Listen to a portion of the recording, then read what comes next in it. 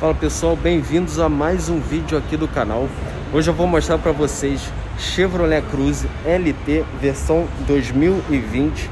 Essa versão aqui já está com facelift. E eu vou dizer também para vocês o porquê que eu acho que esse carro é um dos melhores custo-benefício da categoria, tá pessoal? Não somente pelo valor, se você for comparar aí também carros de outra categoria, mas que tem um valor mais ou menos próximo, na minha humilde opinião, esse carro aqui é um custo-benefício bem interessante. Mais para frente eu vou dizer para vocês o porquê e claro, vou mostrar para vocês aqui o carro para vocês tirarem suas próprias conclusões, beleza? Começando aqui pela frente, nesse facelift, o Cruze ganhou, ganhou uma, uma grade bem grande, tá? Com bastante cromado. É, você pode ver aí, essa boca dele aí ficou bem grande. É, vendo ao vivo, eu achei que ficou até um pouco mais bonito do que por foto. Aqui, o farol. Essa versão, como é a versão de entrada do Cruze, ele não é em LED, tá? É um farol aí normal. Ele tem um acabamento escurecido, com esses detalhes aqui em cromado. Falando em cromado, a grade tem bastante cromado. Olha só quanto cromado aqui em volta dos faróis, praticamente na grade toda tem bastante cromado. Aqui o logo da Chevrolet no meio. Aqui na parte de baixo a gente tem é, o farol de neblina, tá? Não é em LED também. Aqui em volta, como eu falei, bastante cromado aqui também. Esse acabamento aqui deu até é, um tom aí mais esportivo, um toque mais esportivo, né? Um preto fosco aqui, tipo umas garras aqui invadindo essa parte do para-choque afastando um pouco aqui para vocês verem melhor. Essa versão, a LT, ela não tem sensor de estacionamento aqui na parte da frente, mas lá atrás tem, vou já mostrar para vocês, beleza?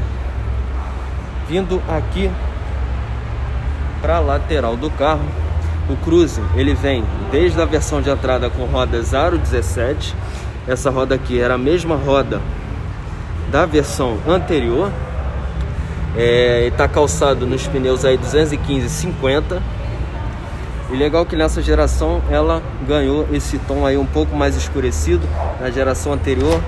Essa mesma roda aí era na cor prata beleza? Aqui também freio a disco na frente lá na roda de trás também tem vou mostrar para vocês. Aqui o retrovisor ele vem pintado na cor do carro a gente tem o um repetidor de seta aqui em LED, legal. Beleza? Aqui, essa versão sendo LT não tem aquele acabamento cromado aqui em volta dos vidros. Aqui na coluna B a gente tem um preto fosco. Como eu falei aqui, ó, na roda de trás também tem o freio a disco. Beleza? Vou mostrar aqui agora a traseira. Essa carroceria é a hatch. É uma traseira bem bonita aí, eu acho ela bem legal. Aqui a gente tem um aerofólio um pouco acentuado aqui. Com as luzes de freio aqui no brake light, né? Nessa geração o Cruze ganhou Wi-Fi a bordo também, legal. Logo da Chevrolet aqui no meio, versão LT aqui no canto, o nome do carro aqui Cruze, no outro canto também. Como eu falei, na parte de trás a gente tem sensor de estacionamento e também a câmera de ré. E aqui no, na parte de baixo também tem esse difusor diferenciado com a ponteira do escapamento em cromado, dando um toque aí mais refinado para o carro. Beleza? Afastando um pouco aqui para vocês verem. Porta aqui está aberta, deixa eu fechar. Aproveitando que já estamos aqui na parte de trás, mostrar o porta-mala para vocês. Na versão hatch, o Cruze ele tem 290 litros de capacidade. É um porta-malas aí razoável, né? Tamanho padrão de hatch médio. O acabamento é bem legal, bem interessante. Você não vê nenhuma lataria exposta. Ele já é iluminado. Ele tem também top tether e o banco, como vocês estão vendo aí, ele pode ser rebatido 60-40. Que o step aquele stepzinho que você tem que andar aí no máximo até 80 km. E tem os compartimentos aqui também, ó. Você pode guardar umas compras aí, algumas coisas. Beleza? Aqui na parte de cima, o acabamento também legal. Encobre toda essa área aqui da mala. E aqui um puxador para você poder fechar a tampa. Mostrar agora o acabamento da parte interna para vocês. Pessoal, aqui na parte de dentro do Cruze, o acabamento é bem interessante, materiais de ótima qualidade. Aqui a gente tem um couro, ele encobre toda essa parte aqui da porta. As maçanetas em cromado, aqui o botão de abertura e fechamento das portas, aqui o controle dos vidros retrovisores. Nessa versão não tem rebatimento elétrico. Aqui os botões do vidro, fechamento do travamento dos vidros, desculpa. Aqui em volta o acabamento em cromado, bastante cromado. Aqui um porta-objetos, tamanho aí padrão. Já aqui na parte de dentro, deixa eu entrar aqui para mostrar para vocês. Bom, aqui na parte de dentro, pessoal, o Cruze, ele tem um acabamento bem legal também, bem interessante. Começando aqui pelo volante, ele é forrado em couro, tá? costuras aqui num tom um pouco mais claro aí do que o preto. O volante é legal, deixa eu afastar um pouco aqui. O volante é legal, é um tamanho é, um pouco menor do que o padrão aí, dando um toque mais esportivo. Desse lado aqui, você controla o piloto automático com limitador de velocidade.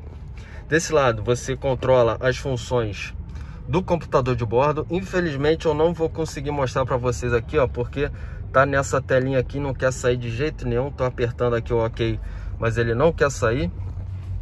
Enfim, aqui também tem o controle de voz, aqui você desliga a ligação, tá? E aqui na parte de trás ficam os botões. Desse lado aqui você aumenta e diminui o volume. E desse outro lado aqui você troca aí as faixas, troca a estação de rádio e uma das reclamações aí dos usuários de Cruze é que é a falta dos pedal shifts, né? A gente tem aqui o câmbio automático, mas não tem os pedal shifts, isso realmente faz bastante falta. É, como eu falei para vocês, eu não vou conseguir mostrar aqui as funções do computador de bordo, mas ele tem bastante funções legais, ele mostra aí a velocidade digital, mostra a questão do consumo, é, pressão dos pneus, bastante informação eu vou fazer um outro vídeo para mostrar essas informações aí para vocês. Vou ver se coloco aqui também. Aqui desse lado a gente tem os controles de iluminação, farol de neblina, lanterna de neblina. Nessa versão não tem acendimento automático. Aqui a altura do faixa dos faróis e aqui a intensidade da iluminação do painel, beleza? Uma das novidades dessa, é, desse facelift do Cruze foi a central multimídia que desde, desde, essa, desde dessa versão é, LT de entrada já vem com o MyLink 3, tá? Só que essa tela aqui ela é de 7 polegadas. Essa central é, já vem aí com o Wi-Fi integrado. Ela tem bastante função, tem Apple CarPlay, aqui ó, Android Auto também. Aqui as funções de áudio, a gente tem rádio, você pode conectar o Bluetooth. Deixa eu voltar aqui. Você tem o telefone aqui, você faz chamadas pelo telefone conectado ao Bluetooth, como eu falei.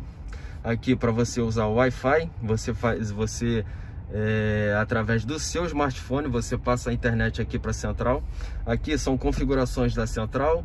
Você pode ver aí também algumas funções do carro através desse menu, tá? Já vem com os aplicativos aí, configurações do veículo também, questão de iluminação, Ó, legal. Você pode configurar bastante coisa aqui. Vou ver se eu faço um vídeo mais completo mostrando todas as funções dessa central, tá? Para vocês, que é uma passada um pouco mais rápido, tá? E também tem aqui os serviços OnStar, que é aquele plano da Chevrolet que você faz uma assinatura mensal e você fica aí, a Chevrolet disponibiliza para você vários serviços de concierge, de emergência um serviço bem legal aí que a Chevrolet oferece. Beleza? Essa central é touchscreen, como vocês estão vendo. Você pode controlar aqui também pelos botões, tá? Que passa música aqui. É, você faz ligações aí direto. Aqui aumenta, diminui volume, tranquilo. Aqui na parte de baixo a gente tem os comandos do ar-condicionado, que no Cruze ele é digital de uma zona só, tá? Aqui você controla a intensidade, aqui a temperatura, aqui os botões de controle também de direção do ar. Aqui na parte de baixo a gente tem uma entrada USB e aqui uma saída de isqueiro, pode colocar uma tomada 12 volts. Isso aqui eu acho um pouco feio, parece que a Chevrolet encaixou isso daqui, parece que não foi meio programado para colocar esse USB aí, né? Mas enfim. Aqui, deixa eu botar o câmbio para trás. Aqui a gente tem é, uma das reclamações aí do, do, dos usuários do Cruze na geração anterior, que era a questão do Start Stop. Agora eles colocaram o botão aqui para você poder desligar o Start Stop. E esse botão aqui é o de controle de estabilidade e tração. Beleza? Aqui o câmbio, ele é automático de seis marchas, tá? E aqui você colocando para o lado é o modo manual, né? Que você bota aí para cima, para baixo, ele troca as marchas. Beleza? Aqui a gente tem dois porta-copos com alavanca de câmbio aqui também num acabamento bom, forrado em couro, aqui em cromado. A gente tem aqui um outro porta-objeto, que na versão antiga tinha um carregador de celular aqui, né? E aqui a gente tem o apoio de braço, embaixo tem um baú, não tem forração aqui, só aqui na parte de baixo, no lado não tem. É um espaço legal aí, dá para guardar bastante coisa. Beleza? O painel em si, aqui na parte de cima, ele tem, ele é de plástico, mas é um plástico com uma textura legal, não é aqueles plásticos qualquer, tá? Toda essa parte aqui é um plástico razoável. Nessa parte aqui de baixo, ele já é forrado em couro, tá? Com a costura branca, bonita, é macio ao toque. Ali as saídas de ar em volta cromado, acabamento aí interessante. Aqui já é um plástico normal, aqui é couro, como eu falei aqui também couro. Nessa parte aqui mais, front, mais frontal do painel, ele tem esse acabamento macio ao toque. Aqui na parte de cima já é um plástico aí texturizado. O porta-luvas tem um tamanho legal, é, razoável, né? Dá para guardar bastante coisa. Ele é iluminado, iluminação não é em LED, tá? Nessa versão o espelho é normal, não é fotocrômico, nem eletrocrômico. Aqui na parte de cima a gente tem o botão do OnStar e a iluminação. Tem iluminação individual aí para o motorista e para o passageiro. Beleza?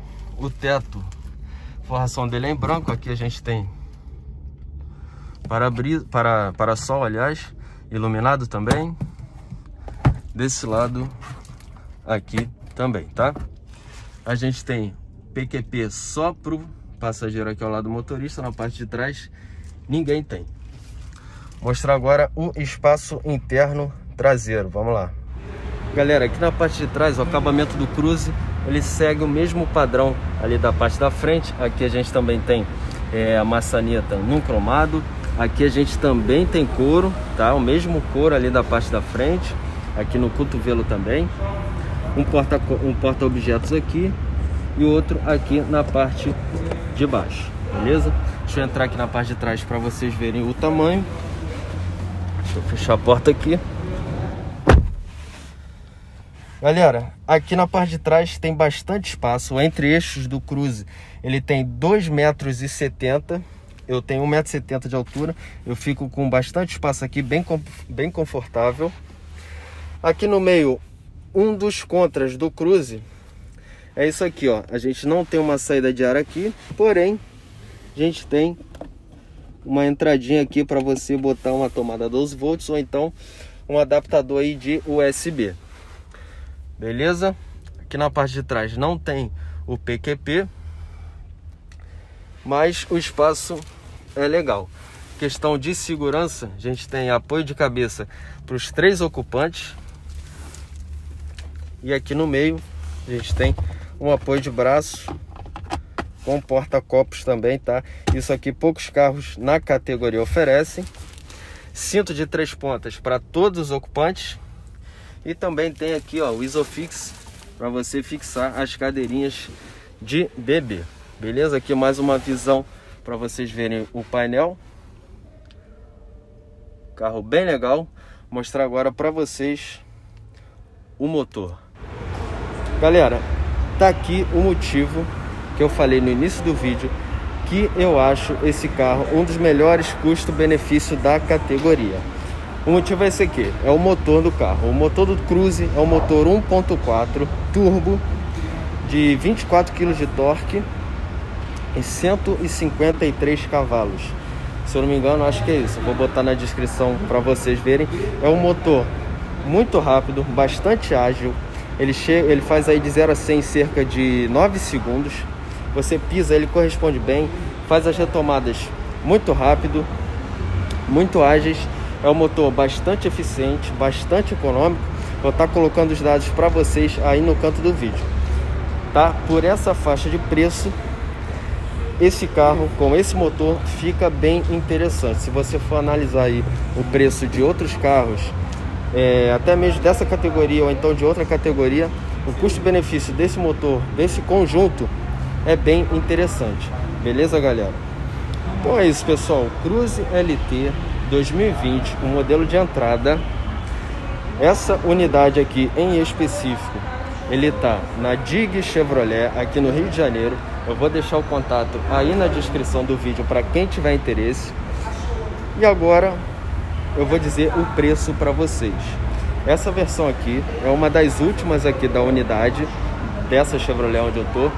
E hoje esse carro está saindo por 96 mil reais. Como eu falei, por esse preço, é, até mesmo se você olhar os concorrentes, com esse motor, com todas essas funcionalidades, espaço interno, esse carro tem um custo-benefício muito interessante. Quem tiver interesse, entre em contato com a vendedora que eu vou deixar o contato aqui na descrição beleza? Se você gostou do vídeo, comenta. Se você tem alguma crítica, comenta também, deixa um comentário. Se você gostou, deixa o like. E é isso aí, galera. Até o próximo vídeo. grande abraço. Valeu.